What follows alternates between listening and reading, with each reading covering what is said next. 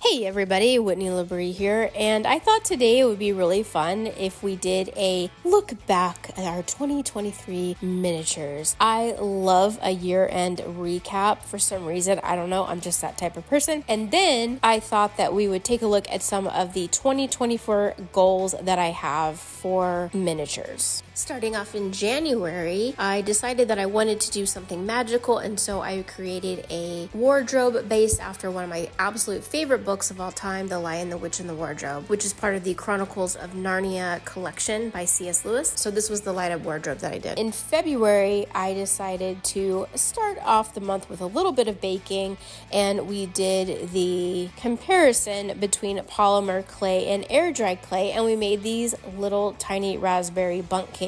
I can't believe now that it's been a little over a year that I've been working with polymer clay, but I'm still pretty new, still learning, and so that was a really great experience. And I have have to say, I loved the air dry just fine, but really, gosh, you can do so much with that polymer clay, especially when it comes to a realistic look. Then for Mardi Gras, I made these little tiny masks, and I thought they turned out really, really cute. I think that this was one of those projects that could easily be taken from this as a first time or a beginner process, and then really take it to the next level and do some beautiful beading and that sort of thing. From there, in February, I did actually start the Wizard of Oz room. So I it was the very first room that I did in the huge, big 15 room dollhouse. I did channel my inner Dorothy Gale, and of course, we took the dollar store furniture and made them over, making each piece a representation of one of the characters of the Wizard of Oz. Here we have the yellow brick road carpeting from a piece of felt and a little bit of paint. And then here's the overall room and all the really fun details.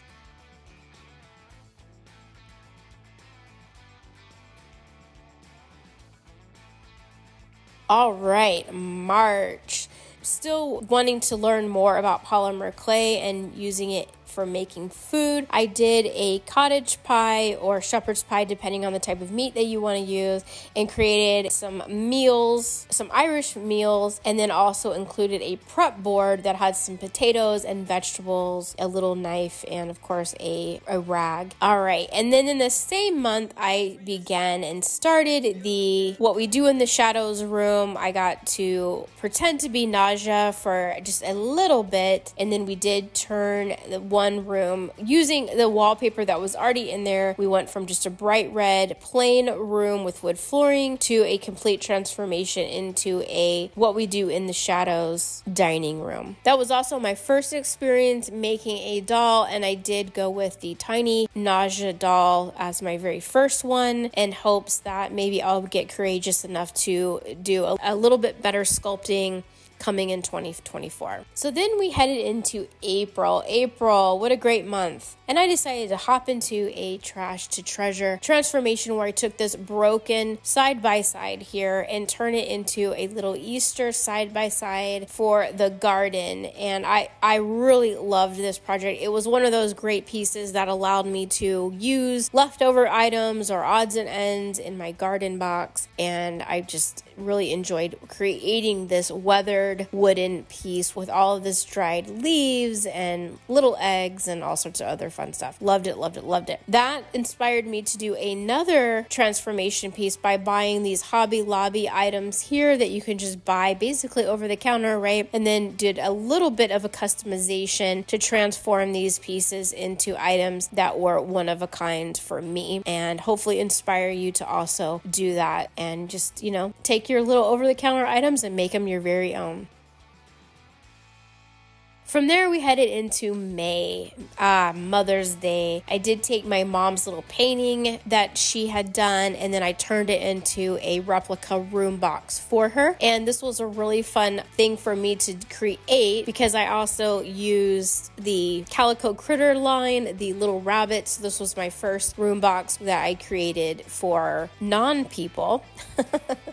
and I really enjoyed this process while also creating a video on how to do tape wiring, which I hope was helpful to those of you who watched it. Moving from there, we're heading right into summer, and so I did create this summer sizzling barbecue video where we took a stock grill and made it look as though it was well loved and used. And then we did make shish kebabs, steak, and we also made some tongs and just rusted up the base of that a little bit again just to make it look like it was a well loved grill. That was a really fun episode. And then from there, in the same month, we jumped on over to an abandoned dollhouse that I found and we did a little ghost hunting with Tiny Whitney. And we did turn a broken piano into an abandoned piano with the use of Fuller's clay. And that was a really fun project. I enjoyed creating that abandoned look. I probably will do some of that again in the future. That was just so fun to do and, and create.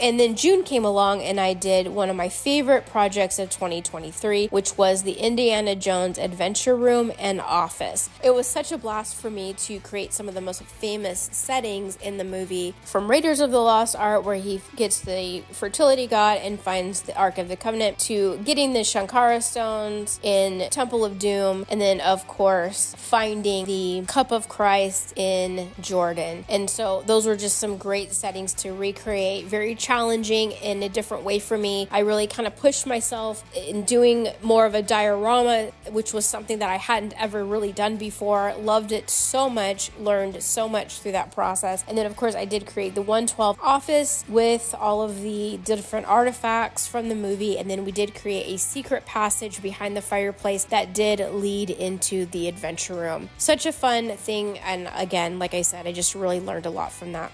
In July, I decided to take a few weeks off. Uh, for those who followed me for some time, you might remember that I got quite discouraged just in general. Not with miniatures, of course. Still had a lot of passion for miniatures in July, but I wasn't so passionate about YouTube. But I do want to thank everybody who reached out to me, both through YouTube and personally, to just say, hey, Whitney, we want you to keep going. We encourage you to keep going. And so um, that's ultimately, of course, what I did. But I just did take a little bit of a breather, and I also got a another job. so it was um, quite an interesting time. Uh, Mid year, of course, sometimes we have to reevaluate and pivot in directions that are for the best. So that's what I did in July. Going into the last of the summer months into August, I did start thinking more about the fair and the carnival, and we started creating several different types of looks using the little plastic cubes that a lot of miniatures come in. And so we did make a Zoltar machine, which was one of my favorite projects of the cube projects was that Zoltar machine. Loved it so much, but I did really enjoy also creating the funnel cakes, the cotton candy stand, the pretzel machine. That might have been that was one of those things I had envisioned for a long time before making it was so it was it was super fun to bring it to life. And then of course the corn dog stand with all of the handmade corn dogs. That was super fun too. In particularly, of course, the one with the little bite out of it. And then a not so popular video, but actually one of my favorite machines that I used that I made those cubes out of was my mini brands claw machine. And I just really enjoyed making that because it was just a super fun way to display some of the mini brands that I have uh, collected or been given over the year.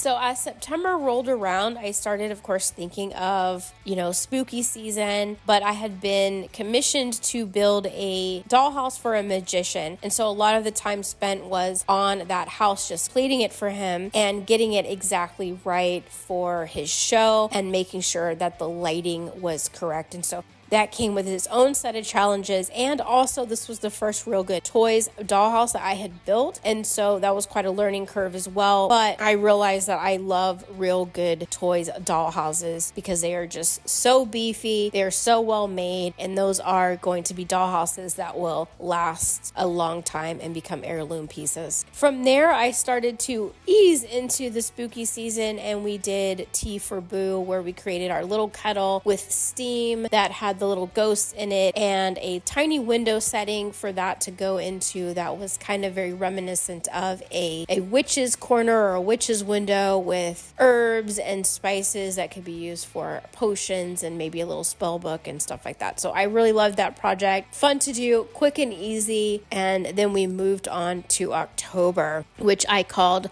Ocpolter, of course, because it was all about poltergeist and recreating the children's room for poltergeist. With that, we did the full room. We did Robbie's side of the room. We did Carol Anne's side of the room. We did all of the toys, the posters, the bedding. We created a spooky closet. And then, of course, we created the tree, which I'm still not satisfied with. And maybe this year I will re- redo that. And also, Robbie's clown was part of that entire process. I overall loved the way that that room came out. I was not as satisfied with the scary elements of it. And to be fair, I felt like I rushed rushed myself. And so, you know, moving forward, I think when I feel that way, I would rather just slow down, take a deep breath, make sure it's done right to try to make sure that I'm always giving you guys the best quality content that I can. And then once that project was completed, we did get into the Thanksgiving season, the grateful season, and I decided that we were going to get cheesy and I did make the cheese hutch, the distress hutch with all the different cheeses. Another one of my favorite projects of the year. I loved all the color and going back into the Garfield dollhouse, which is the kitchen that you're seeing here, and just recreating and upgrading a, a, piece of furniture that I had already had, a space I'd already had, and just added this in its place. And I just really think it added a lot of character and charm to the kitchen. From there, I decided to get into the holiday spirit and really start thinking about Christmas. And we did do a couple holiday centerpieces, the traditional red and green. I did create a beach Christmas centerpiece centerpiece. And then, of course, I did do a fall centerpiece because we were still in November at the time. And I think the fall one might have been my actual favorite centerpiece, although I did love a lot of the elements of the Christmas ones as well. Once December came, we were in full bloom, and I did start off with some tiny houses. I turned a Trader Joe's grocery bag into a miniature Christmas village that was set up in my front living room. And then I was so into houses that I decided to do a couple more small houses, even smaller, this time recreating the very vintage but absolutely charming Putz houses and a little miniature scene to go on a fireplace that was going to be used in a Christmas box for another episode. What did the other episode wind up being? Well, it was a pack away miniature room box based on one of my favorite Christmas movies, A Christmas Story, that featured not only the leg lamp, uh, we we made the fragile crate we created the Red Ryder BB gun box and BBs.